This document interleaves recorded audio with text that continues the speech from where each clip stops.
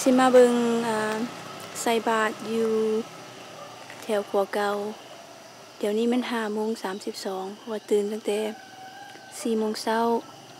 แล้วก็ห้าโมงปลายก็ย่างออกมา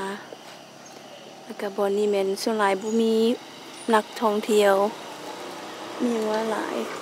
บ่คืออยู่แถววัดแสน แล้วก็มีแต่เจ็ดวัดเจ็ดวัดมาทางนี้เพิ่นอ่า มีวัดทางฟ้าขัวนั่นแล้วก็วัด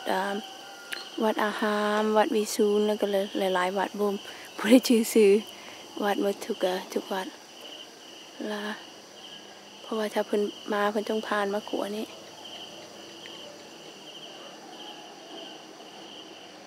มันคือส่วนหลายก็จะว่าเป็นวัดน้อย แล้วบ่มีพระหลายองค์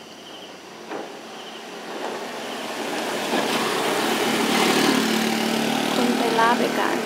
อน 先讲。